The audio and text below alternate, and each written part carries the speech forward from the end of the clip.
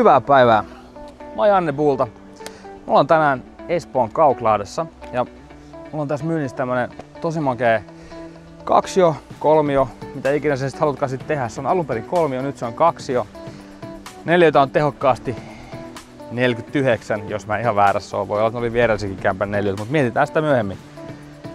Terassi, aivan huikea terassi. Kokonaan kompositista tehty, eikä löydy mutta kellään muulla yhtiössä tämän kokoista terassia. Ei kellään, vaan sulla. Se jatkuu tänne sivulle. Makeasti täällä on pitkä pätkä vielä. Tässä voi juosta vaikka oikeasti maratoni, jos huvittaa. Täältä päästään sisälle. Meillä on muuten itse asiassa poikkeuksellisesti eikä makeasti tupla ovet vielä tälleen näin sisälle. Just sen takia, kun tää on oikeasti kolmio, niin toisesta makkarista on päässyt ja sitten on vielä olohuoneeseen ovi. Hyvin poikkeuksellinen. Tuu kattoo, mä näytän. Kattokaa vaan mikä tila. Aika makea tämmönen iso avara tila. Ja tosiaan, jos sä haluaisit tästä kolmion, niin alkuperäisen pohjastuksen mukaan tässä on ollut seinä, jolloin makuhuoneeseen jää ovi, olohuone, keittiö ja täältä on oma uloskulku vielä.